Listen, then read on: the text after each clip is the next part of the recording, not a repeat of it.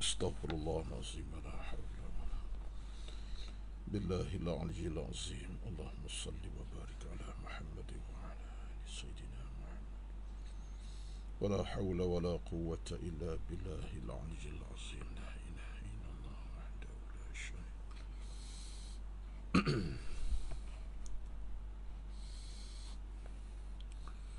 اللهم صل على محمد وعلى آل سيدنا محمد. لا إله إلا أنت سبحانك إنا كنا من الظالمين. لا إله إلا أنت سبحانك إنا كنا من الظالمين.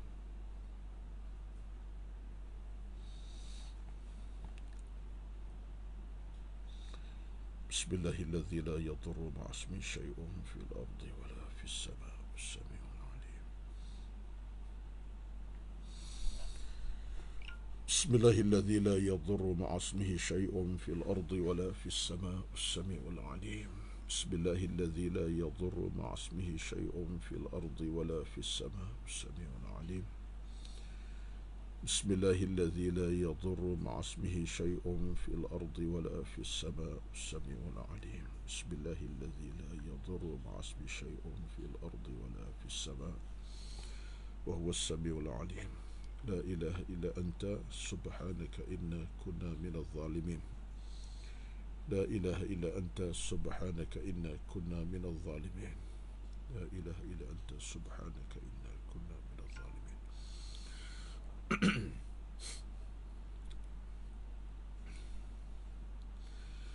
اللهم تقبل منا إنك أنت العليم الحكيم. لا إله إلا أنت سبحانك إنا.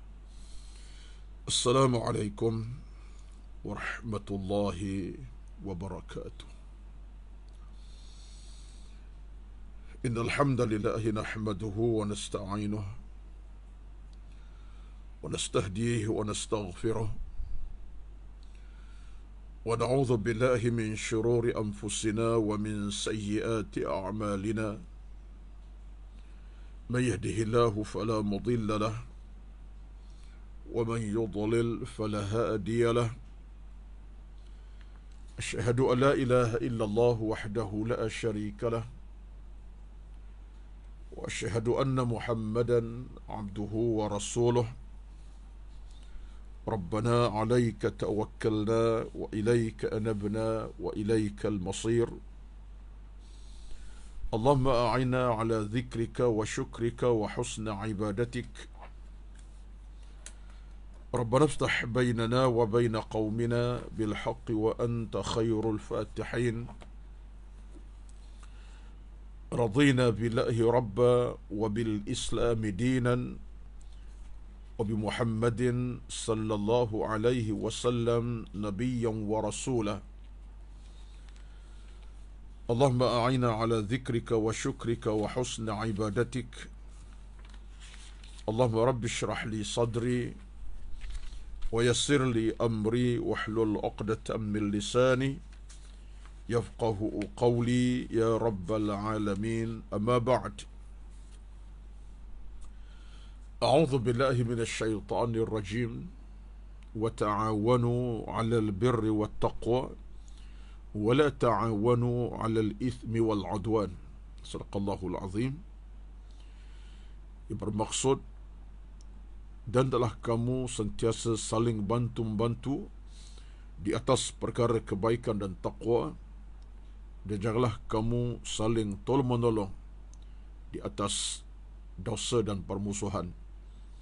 Al-Maidah ayat yang ketiga. Sadaqallahul Azim. Yang dihormati dikasihi berbahagia Al-Fadil Tuan Pengurusi Surau An-Nur Fasa 3A Bandar Seremban Selatan dan seluruh dan kuasa pengurusan surau yang berbahagia yang dihormati Al-Fadhil, Tuan-Tuan Imam, Al-Fadhil, Tuan-Tuan Imam, Surau An-Nawf Fasa 3A dan yang dikasihi, yang dirahmati, yang dirahmati, yang dihormati seluruh akan taulan Sabah Handai para jamaah daripada surau An-Nur Fasa 3A Bandar Seremban Selatan dan seluruh yang bersama-sama di pagi ini yang telah mula masuk Alhamdulillah pastinya rekan taulan online kita yang jauh dong di utara selatan tanah air di barat dan timur bahkan di Sabah Sarawak Alhamdulillah kita merafak syukur kepada Allah Subhanahu wa taala di pagi yang penuh barakah ini di awal bulan Muharram bersama 4 Ogos Khamis yang penuh kemuliaan ini Alhamdulillah Allah Subhanahu wa taala mempertemukan kita dalam suatu pertemuan yang bukan kecil maknanya. Kerana di awal pagi yang berkat ini pastilah yang menanti kita ialah keberkatan demi keberkatan. Berkat masa di awal fajar, berkat hari hari Khamis, berkat tempat di mana kita berada, mungkin di masjid, bahkan di surau, hatta di mana sekalipun insya-Allah keberkatannya dan berkat program kita iaitu program ilmu bicara kita tentang soal keimanan soal ketakwaan soal ibadat dan amalan kita soal hati dan jiwa yang pastinya merupakan sesuatu yang tidak kecil makna kepada kita. Inilah di antara perkara yang kita kena sentiasa peringatkan diri masing-masing. Kerana kehidupan dengan ilmu tidak ada sudahnya bahkan sesuatu yang perlu melekat di hati jantung kita kerana program ilmu ni tuan-tuan program yang paling utama paling penting. Dan sudahnya ilmu ini bila kita meninggal dunia. Ha, selagi mana kita tak meninggal dunia kita belum mati ilmu wajib diraih dicari dicapai. Walau dalam apa situasi dalam situasi apa sekalipun. Di surau di masjid di tempat-tempat kita belajar termasuklah melalui online macam ni kerana ini merupakan satu kepastian dan kemestian nak kata apa lagi dalam hidup ini melainkan kita mesti bersama ilmu cuma masalahnya sekarang dalam kehidupan beragama kita ada orang kadang-kadang tak ada masa di ilmu bahkan tak ada cukup masa untuk beramal ha, ini suatu perkara yang tidak patut berlaku yang boleh membunuh kehidupan kita yang sebenarnya. Kerana kehidupan tanpa ilmu kecundang. Kehidupan tanpa amal binasa, kehidupan tanpa iman akan membawa kepada malapetaka. Sebab itulah yang kita kena cari kalau kita nak bina kehidupan yang baik, sejahtera, bahagia, diradai Allah SWT, maka ilmulah jalannya, amallah laluan kita dan imalah merupakan kepagangan kita dan kekuatan kita. Maka tuan-tuan itu sebabnya dalam satu kata-kata menarik daripada Ali bin Abi Talib radhiyallahu anhu uh, seorang sahabat Nabi yang cukup disayangi oleh Rasulullah. Kebetulan merupakan sepupu Nabi, menantu Nabi yang dicintai. Seorang sahabi yang cukup hebat dengan akhlak dan keimanan, keilmuannya. Pernah Ali tersebut, uh, beliau juga merupakan khalifah Islam yang keempat menjadi galang menjadi galang ganti Nabi setelah wafat. Pernah Ali ber, ber, ber, ber, ber, berkata dalam riwayat yang dukilkan oleh Ibn Hajar Al-Asqalani dalam kitabnya bahawa Ali pernah berkata man kana fi talabil ilm kanatil jannatu fi talabih. Wa man kana fi talabil ma'siyah kanatin naru fi talabih. Dua benda kita kena fahami kata Ali. Barang siapa yang berada dalam keadaan berusaha untuk mencari ilmu dalam keadaan berusaha untuk dapatkan ilmu talab al-ilm. Maknanya mencari ilmu. Usahalah dengan cara hadir baca kitab hadir ke masjid ilmu datang ke masjid. Contohnya macam kita sekarang ni online pun kita buat. Siapa yang usaha untuk mencari ilmu kata Ali kanatil jannatu fi talabih. Syurga itu sedang memanggil manggilnya. Itulah bahasa mudah saya guna pakai terjemahnya. Syurga sedang menanti-nantinya, memanggil-manggilnya. Satu rezeki. Kerana ilmu kita cari, syurga menanti kita. Sebab selayaknya, syurga hanya dimasuki orang berilmu dan beramal, beriman, beramal. Adapun sebalik kata Ali, wa kana fi talabil ma'siyah siapa yang berada dalam keadaan buat benda-benda maksiat melakukan kerja-kerja dosa maksiat al maksiyah itu dosa kerja yang Allah haramkan Allah tak suka benda Allah tidak redha amalan yang Allah tidak redha tak suka maksiat siapa yang buat kerja maksiat kata Ali kana tinaru fi talabih maka neraka sedang memanggil manggilnya dan menanti untuk dimasuk ke dalamnya. Jadi tengok tuan-tuan. Kata-kata Ali ini tuan-tuan bukan kata yang boleh kita anggap sebagai kata-kata cipis, cibisan di jalanan. Ini sahabat Nabi. Ali syurga ni tuan-tuan bercakap. Ya, bukan cibisan kata-kata yang boleh tolak ataupun kita nak pandang, tengok ataupun tidak pandang. Tidak. Kata-kata ini kata-kata yang bernas. Yang ada nasnya. Bernas pun ada. Nas pun ada. Hujah pun kokoh. Sahabat ni bercakap.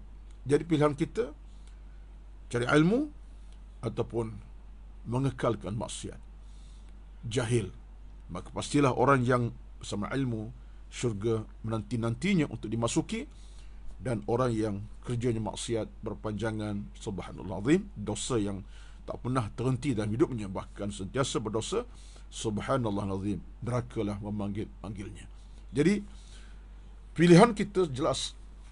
Betullah maka dalam konteks kita dengan isu hati kejiwaan kita nak kena sentiasa ada sesuatu yang boleh membasuh hati kita membasuh jiwa kita membasuh kita punya nilai nilai dalaman kita Bahawa ilmu tasul tuan-tuan ilmu yang akan membawa kita kepada jalan-jalan ke amanan jalan-jalan keimanan jalan kemuliaan kebaikan kerana sesuatu itu dapat dibasuhi di di di di di di, di, di dibersihkan oleh ilmu tasawuf melalui proses ilmu iman dan amal kita kepada Allah Subhanahu wa taala. Dan ini merupakan satu perkara yang kita nak kena ambil ingatan bersama. Betul dalam kesempatan saya pada hari ini saya akan cuba kaitkan dengan satu hadis Nabi SAW yang berkait dengan soal kita dan amanah kita dengan hidup ini. Bila sampai masanya Allah akan berikan kepada kita dalam bentuk ujian yang berat. Ya ujian macam mana? Dalam maksud yang lain Allah akan bersoal jawab dengan kita tentang bagaimana kelalaian kita bagaimana keburukan kita bagaimana kejahatan kita dan dan seumpamanya. Cuma sebelum itu sebelum saya pergi lebih jauh sikit tentang hadis yang saya nak bacakan hadis Imam Tirmizi saya terbaca sekarang Eh, kepada tuan-tuan. Saya nak baca sekarang kepada tuan-tuan. Dah terbaca berapa lama sudah. Satu kata-kata menarik daripada ba'dul hukama. Tak disebutkan siapa yang berkata tapi disebut sebagai wa'an ba'dil hukama daripada kalangan ahli-ahli ilmuwan kita ya ilmuwan kita yang lama mungkin di kalangan salafun salih yang pernah ucapkan satu kata menarik saya duk baca tengok ni saya kata perlu saya sampaikan dalam kuliah subuh pada pagi ni ambil perkongsian umum saja. Saya tak detailkan sebab saya akan detailkan hadis yang saya baca. Saya akan kupas nanti. Tapi ambil dulu kata-kata ini untuk kita tengok secara lakaran umum bagaimana ianya menarik perhatian kita. Di mana kata hukama ini? Al-hakim min al-hukama iaitu seorang tokoh ilmuwan daripada kalangan para ilmuwan dalam Islam. Dia kata apa? Baina yadi taqwa khamsu aqabatin man jawazaha nalat taqwa. Dalam kehidupan kita ini di sisi di sisi kita lah sisi kita ini akan kita nak takwa itu kata dia. Kita nak takwa memang kita nak takwa. Kita nak takwa itu tercapai dalam hidup. Kan takwa adalah kunci utama ataupun laluan penting kita menghadap Allah Azza wa Jalla. Sebab Allah sebut Quran pun dalam surah Al-Imran 102, ya ayyuhalladzina amanu taqullaha haqqa tuqatih wa la tamutunna illa wa antum muslimun. Allah beri kita arahan jelas dan mutlak bahawa nak mati memang kena mati. Dia mati yang bersyarat. Siapa syarat matinya? Mati sebagai seorang yang muslim, iaitu orang bertakwa kepada Allah. Ya ayyuhallazina amanu taqullah. Orang beriman bertakwa. Sungguh-sungguh wala tamutunna illa wa antum muslim jangan mati mereka mati sebagai orang Islam maka itu syarat utama Allah letak syarat mati tetap mati tapi kematian dalam suasana muslim yang muttaqin yang ada tuqa yang ada taqwa. Itu kita kena faham lah dia kalau mati dalam keadaan Allahu Akbar saya pun takut cakap tuan-tuan mati tanpa taqwa tanpa ilmu amal kita mati free lah. Macam mati skor kata seekor kucing di jalanan yang dilanggar lori contohnya seekor burung yang meninggal yang mati begitu seorang seekor binatang. Tak apa lah. Orang tak kisah tak peduli. Tapi kita nak kematian kita kematian dipedulikan oleh Allah yang dirahmati Allah yang diradai Allah SWT bukan kematian yang dimurkai kematian dibenci oleh Allah. Kita tak nak macam tu. Maka senjata kita takwa baik. Kata Al-Hakim ataupun seorang ulama dia kata apa? Al-Hakim bukan nama dia tapi seorang cendekiawan seorang ilmuwan. Minal hukama daripada kalangan cendekiawan yang ramai. Tetapi dia kata untuk capai takwa ini ada lima halangan. Aqabatin lima kepayahan lima halangan lima cabaran. Tapi siapa yang mampu hadapi kelima-lima ini dia akan nala taqwa tercapai taqwa dalam hidupnya. Ha tu dia tuan-tuan nak buat dapat satu benda yang yang yang yang yang besar ini bukan mudah. Nak kaya contohnya kena kerja kena kerja kuat. Sungguh-sungguh ikhlas dalam bekerja. Part time overtime habis time kadang-kadang. Sebab apa? Nak dapat harta. Contohnya lah sebagai contoh mudah lah nak jadi orang yang berjaya usaha kena lebih daripada segala-galanya. Dengan masa tenaga waktu itu biasalah. Nak takwa ada halangannya. Takwa tak datang menggolek uh, tidur dalam mimpi besok takwa. Tidur dalam mimpi, eh, tidur mimpi malam tu tu besok uh, ingat Quran. Tak ada macam tu. Tak ada. Kena usaha. Baik. Kata apa, apa ni apa ni kalangan cendekiawan dikata apa? Seorang ulama dikata apa? Ada lima halangan aqabatin kepayahan yang siapa dapat hadapinya mengatasinya capai takwa. Pertama, awaluha ikhtiar asyiddati ala ni'mati. Kita berada dalam soal memilih kepayahan sebelum dapat nikmat. Ini yang pertama, dapat satu benda yang baik kena ada kepayahan. Nak dapat pahala sembahyang tahajud contohnya, kena bangunlah pukul 4 pagi. Letih, penat. Contoh, saya ambil contoh yang mudah ni, tuan-tuan. Nak ambil ringkasan saja. Yang pertama, hal kita ialah ikhtiar asyiddah ala ni'mah. Kita pilih benda yang memang kita bertemu dengan benda susah untuk dapat nikmat. Itu halangan tu. Dapat nikmat, ada halangan. Dapat pahala lebih. Pahala semayang tahajud. Kena bangun pukul 4 pagi. Apa kata kalau kita tiltih dan penat, tidur pukul 3 pagi. Tak terbangun. Tapi ada orang ada kekuatan, dibangun. Sebab dia, dia, tak nak melepas peluang tahajud pada pagi ni kan besok belum tentu dia ada lagi. Lusa belum tentu dia hidup. Tulat lagi lah tak tahu lagi. Maka dia usaha, syiddah, susahnya dia bangun sebab apa? Nikmat, pahala tahajud sebagai contoh lah ni. Itu sebagai contoh. Jadi yang kedua yang pertama, yang kedua dia kata apa? Ikhtiar al-juhdi 'ala rahati. Maksudnya dia pilih usaha yang kental di atas kerahatan. Kau tidak rehat saja tuan-tuan, mana dapat kebaikan. Rehat memanjang. Salat duha tidak, padahal waktu ada. Usaha al-jahd, saya baca tadi al-jud kan, al-jahd. Al-jahd, kesungguhan. Al-jahdi makna kesungguhan di atas kerahatan. Rehat buang ke tepi. Usaha, walau gigih, penat letih macam mana, usaha. Barulah dapat ketakwaan. Yang ketiga dia kata apa? Ikhtiar al-dhulli ala al-azzi. Kita memilih kinaan di atas ke kemuliaan tak apalah susah macam mana kita pernah hina. Kerana buat kebaikan. Orang hina macam mana tak apa. Sebab nanti kita adalah kemuliaan. Manusia kadang-kadang macam itulah tuan-tuan. Nak buat kebaikan orang kata Allah rajin tak bertempat contohnya. Orang pandang hina.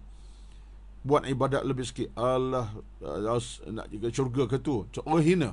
Mana orang pandang hina tapi kita dapat kemuliaan. Hina manusia tidak ke mana-mana. Allah yang muliakan kita. Itu yang ketiga. Yang keempat dia kata apa? Ikhtiar as-sukut ala al-fudul. Kita memilih untuk banyak berdiam daripada buat benda yang bukan-bukan. Cakap benda yang bukan-bukan. Cakap benda yang tak betul. Cakap benda yang dusta. Lebih baik kita diam. Diam itu lebih baik daripada kita bercakap benda al-fudul. Benda-benda yang lara, melalaikan. Ini perjuangan kita. Tapi kalau kita mulut asyik nak bercakap saja, kadang-kadang datang pendustaan datang pembohongan, datang kepalsu dan kepalsuan, cakap benda-benda tak betul, menipu, contohnya, mencaci. Ah, ini masalah kita. Baik kita diam diri. Diam itu satu perjuangan untuk mencapai takwa. Yang kelima dia kata apa? Ikhtiarul mauti ala hayati. Memilih untuk jaga. Memilih untuk faham tentang kematian di atas kehidupan. Makna orang takwa dia kena fikir jauh. Kalau mati, matilah aku. Tamaklah segala-galanya. Berarti kalau aku mati, tak beribadat, aku rugi besar. Aku mati tanpa ilmu dan amal, aku akan kecundang. Jadi guna kesempatan fikir hal mati itu untuk apa? Untuk kebaikan. Bukan kita minta mati tapi kita bimbang kalau kita mati dalam keadaan tidak ada amal soleh. Jadi ini orang-orang yang kemeraih kata ulama kita ialah takwa. Jadi kelima lima tadi saya tak nak detail sebab saya akan bercakap benda lain tuan untuk begini. Saya cuba bawa kerangka umum saja kerana perjuangan kita untuk mencapai nikmat takwa itu bukan mudah. Ada halangan, ada akabat, ada cabaran, ada dugaan, ada ujian yang kalau kita tak tempui dengan penuh keimanan kita gagal cundang. Itu yang kita tak nak tuan-tuan. Rebah dalam perjalanan tanpa mampu kita bangkit semula. Itu masalah kita. Sedangkan dalam Islam ni kalau rebah macam mana sekalipun kita bangkit, bangun semula berjalan, kokoh kasmat berjalan. Tak nak kita rebah terus rebah sampai kita tak boleh bangkit. Tak boleh macam tu. Sebab dalam Islam konteks macam tu. Sebab kita sebut Islam tuan-tuan sebagai satu agama yang mengharmonikan kita.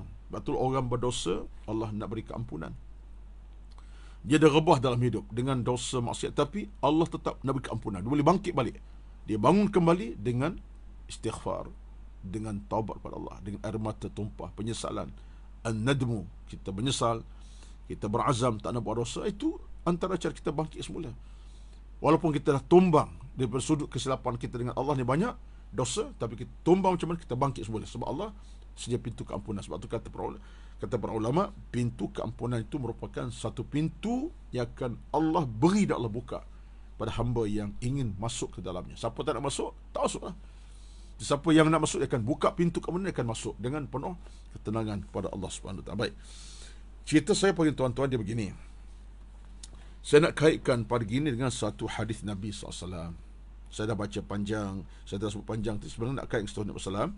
Hadis pada Imam Tirmizi ni. Hadis ni hadis saya kira hadis yang masyhur sekali dan ramai kita yang telah mengetahui tentangnya.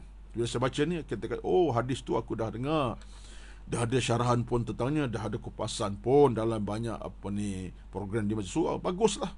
Kita tambah lagi lah pengfahaman tentang hadis ni. Iaitu satu hadis tentang bagaimana berlakunya satu keadaan.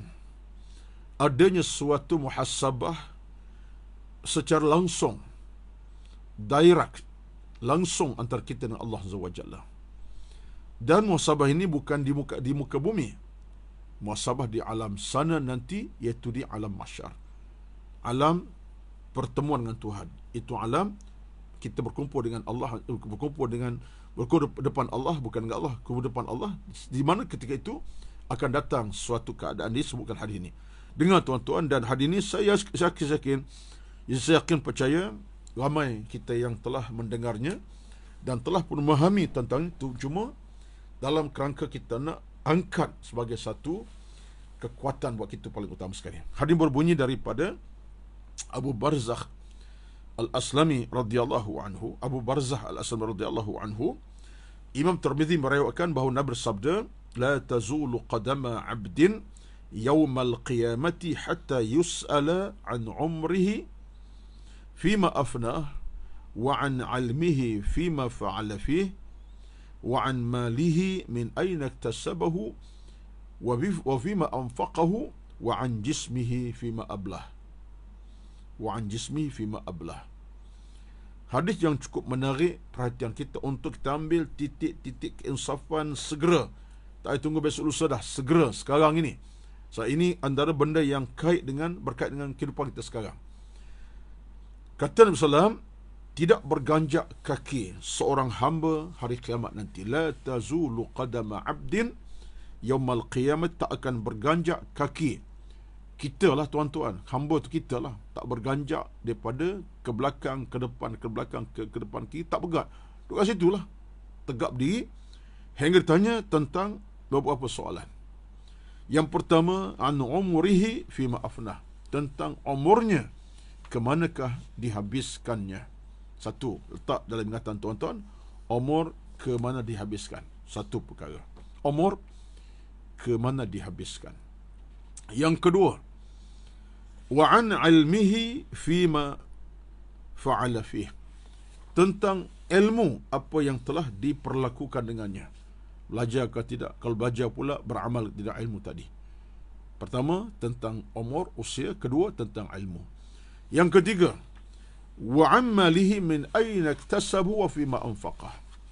Tentang harta, dari mana didapati peroleh harta dan ke mana dibelanjakan harta. Dua soalan. Pertama, dari mana punca pendapatan, kedua ke mana dihabiskannya. Harta. Yang ketiganya, yang keempatnya lah wa an jismihi fi ma ablah tentang fizikal tubuh kita apa yang telah kita guna pakai. Fizikal tubuh kita mana pada mata, telinga, kaki sampai ke tumit. Semua kita badan kita, ke mana kita telah habiskannya? Fi ma afnah, fi ma ablah. Tuan-tuan sekalian, hadis ini merupakan hadis yang telah disahihkan Al-Albani Ibn Ibn Tirmidhi dan satu hadis yang begitu sekali meletakkan peringatan inzar tadhkir kepada kita untuk kita mengambil canaan yang tinggi. Kenapa?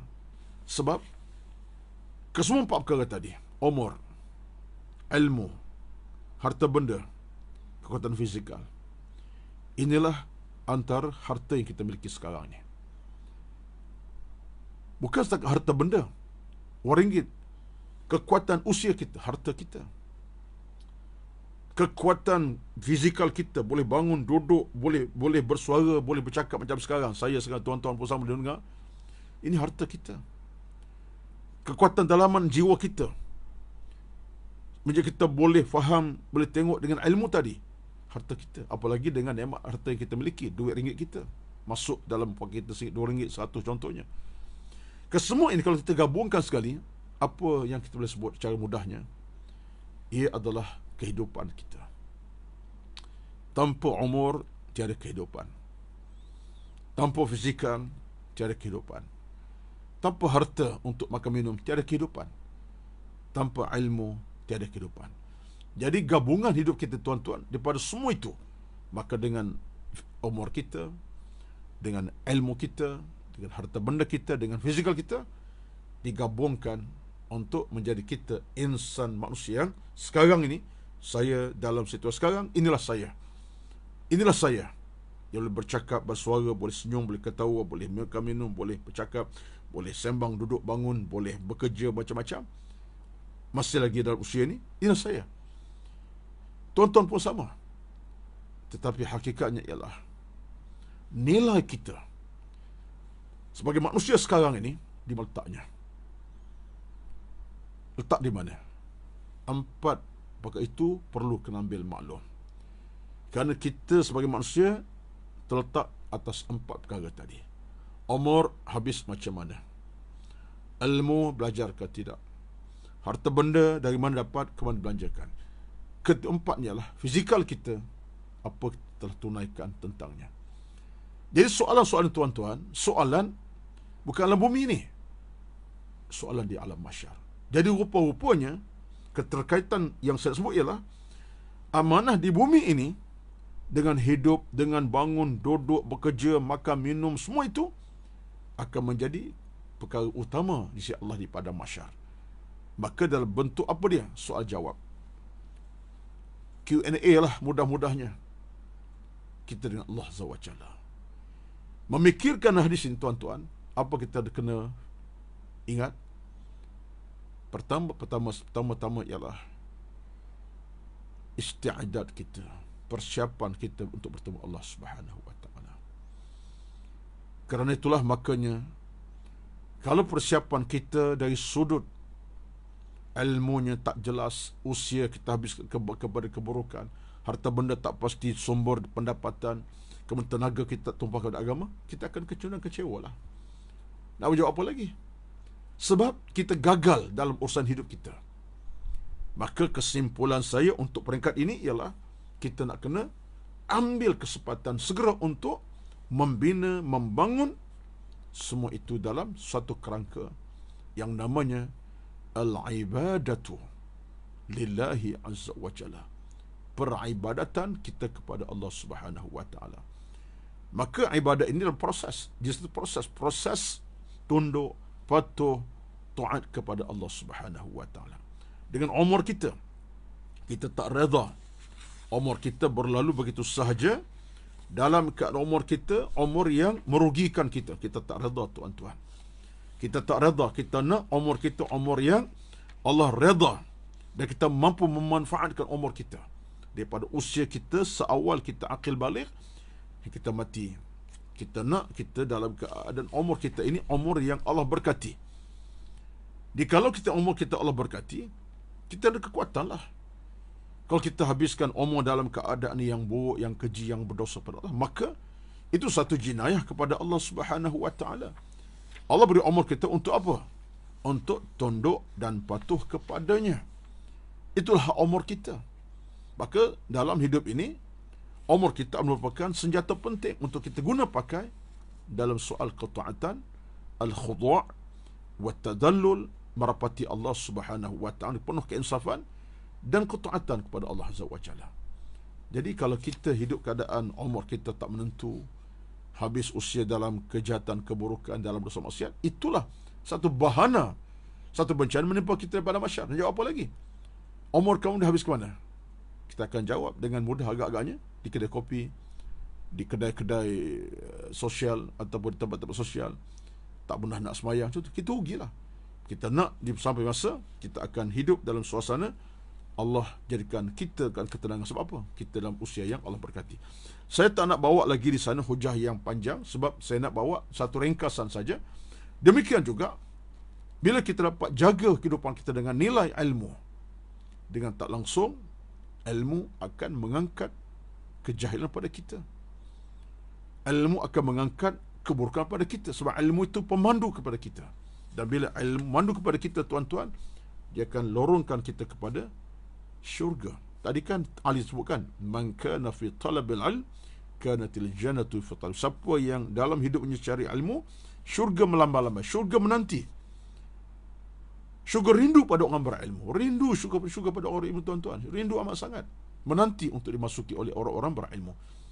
Jelas kepada kita. Bahkan dalam Quran Allah sebut kepada kita, Allah angkat darajah orang berilmu. Yarfa'illahu alladhina amanu minkum walladzina utul ilma darajat surah al-mujadalah ayat ke-11 langkah darajah kedudukan. Tidak pernah kecewa orang berilmu baik. Demikian kita nak mendapat kita nak kemenangan pada masyarakat harta benda. Batu dah harta benda kita kena infak pastikan kita punya sumbernya sahih dan betul. Kemudian bukan tak kita dapat harta yang sahih tapi kita infak membelanjakan derma kita kepada jalan kebaikan pahala yang Allah radai termasuklah fizikal kita. Sebab kita hidup ini tuan-tuan, fizikal kita wajib kita jaga. Nak solat dengan fizikal. Nak berpuasa dengan fizikal. Nak buat haji dengan fizikal. Nak buat umrah dengan fizikal. Nak pergi ke masjid dengan fizikal. Nak duduk dengar ilmu dengan fizikal. Semua fizikal. Daripada mata, telinga sampai ke lutut, ke tumit, sampai ke kaki. Ini semua merupakan benda-benda yang selayaknya lah. Ha, itu cerita saya di penghujungnya. Penghujung dari tuan-tuan lebih kurang. Selayaknya sampai masa di hari akhirat betul lah Allah akan bertanya kita tentang persoalan umur tentang ilmu tentang harta tentang fizikal kita masing-masing. Ini hak Allah Subhanahu wa taala. Jadi kalau kita mampu untuk menyiapkan sebuah kehidupan yang betul-betul berteraskan kepada keimanan daripada mula hidup kita sampai mati maka jawapan depan Allah nanti pasti memberi kita keselamatan kerahmatan. Bukan sesuatu yang boleh menyusahkan kita. Pada hari itu tuan-tuan tidak jawab melainkan yang jawab ialah ilmu dan amal kita. Bukan fizikal kita. Semua amal soleh kita menjawapan kepada kita. Semua amal soleh kita buat dalam hidup daripada masa, tenaga, waktu, harta benda akan menjadi jawapan kepada kita. Kita tak bercakap lagi dah. Tapi ilmu kita, amal, bercakap menentukan di mana kita di hari akhirat di hadapan Allah Subhanahu wa taala pada masa itu harga sebuah kehidupan tadi dilihat kepada soal amalan Saya nak ringkaskan harga sebuah kehidupan di alam masyar dia balik pada soal amalan. Fizikal yang datang tegak macam mana pun, cantik macam mana pun, fizikal yang usia dah usia ratus tahun sekalipun, amal macam mana? Bila amal tidak ada, tak cukup, fizikal yang tegap dan teguh yang hebat masa hidupnya tak ke mana-mana. Akhirnya menjadi bahan bakaran neraka Allah Subhanahu wa taala. Itulah penghujungnya. Dimurkai Allah, dibakar nerakanya oleh Allah Subhanahu wa taala. Tuan-tuan dibakar api neraka oleh Allah Subhanahu wa taala. Tuan-tuan sekalian, Inilah suatu benda yang kita kena semak. Jadi hari ini walaupun saya tidak panjangkan terjemahan tafsirannya, tapi nak sebut kita bagaimana kedahsyatan di hari akhir itu sampai tak bergerak kita, tak berganjak tapak kita, kaki kita ke kanan kiri, melainkan ditanya empat kali tadi. Maka tuan-tuan, mari semak balik, cek balik. Sebab itulah proses kita nak bina ilmu dalam hidup ini tak pernah terhenti melalui apa kita sebut sebagai ilmu tasawuf yang sifatnya untuk bersihkan jiwa mana yang sakit perlu dibersihkan mana yang kotor perlu dibersihkan mana yang buruk perlu diberikan dicari ke pintu kemaafan keampunan mana yang dosa perlu mohon keampunan pada Allah Azza wa Jalla maka mudah-mudahan dalam kesempatan masa yang agak terbatas pada pagi ini apa yang kita sampai ini merupakan satu peringatan yang boleh kita sebagai landasan yang utama kan akhirnya Akhirnya tuan-tuan sekalian yang kita mahu ialah waqina azab benar. Ya Tuhan kami, jauhkan kami daripada bakaran api neraka yang bernyala-nyala. Penghujungnya itulah dia. Waqina azab benar.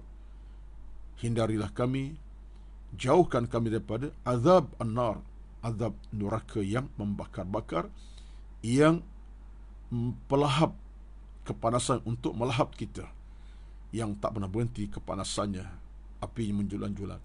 Ini semua tuan-tuan bagi kita lebih terasa betapa sesaat bertemu Allah nanti. Akhirnya pintu yang akan menyelamatkan kita adalah pintu amal saleh kita masing-masing. Maka mari sama-sama di hadis tadi kita jadikan umur kita penuh keberkatan ilmu kita penuh kemuliaan harta kita penuh dengan kemuliaan kebaik kehalalannya dan jasad kita penuh dengan seribu satu kemuliaan dan kebaikan. Semua itu harta kekal kita di pada masyar. Amin rabbal alamin. Itulah sekadar pertemuan pada pagi ini dalam tajuk yang saya pun tak tak, tak betul takkan tajuk tapi tajuk tentang soal membina hidup yang Allah radai. Itulah harapan kita mudah-mudahan sampai message ilmu ni walaupun tak panjang sedikit saja mudah-mudahan boleh membawa kepada kita seribu satu kebaikan. Tuan-tuan sekalian, teruslah menyumbang, menabung, memberi infak kepada surau An-Nur fasa 3A melalui nombor akaun yang tertera. Mudah-mudahan Allah sentiasa memberkati hasil usaha kebaikan kita, harta kita makin berkat dan usia kita makin Allah rahmati insyaAllah. Amin ya rabbal alamin. Kerana itulah makanya dalam hidup ini teruskanlah dengan ilmu dan amal secara konsisten tanpa cuai tanpa henti kerana hujungnya kita mestilah dalam rada bukan dalam kebencian Allah Azza wa Jalla itulah sekadar pertemuan kita pada pagi ini aqul qawli hadha astaghfirullah alazim li wa lakum wa li sa'iril muslimin wal muslimat fastaghfiruh الغفور الرحيم. أعوذ بالله من الشيطان الرجيم. بسم الله الرحمن الرحيم. الحمد لله رب العالمين والصلاة والسلام على سيدنا محمد وعلى آله وصحبه أجمعين. اللهم إنا نسألك رضاك والجنة ونعوذ بك من سخطك والنار. اللهم إنك تحب العفو فاعف عنا يا كريم. اللهم ربي يا كريم ربنا ظلمنا أنفسنا وإن لم تغفر لنا وترحمنا لنكونن من الخاسرين. ربنا آتنا في الدنيا حسنة وفي الآخرة حسنة وقنا عذاب النار. وصلى الله على محمد والحمد لله رب العالمين. تقبل الله منكم. والسلام عليكم ورحمة الله وبركاته.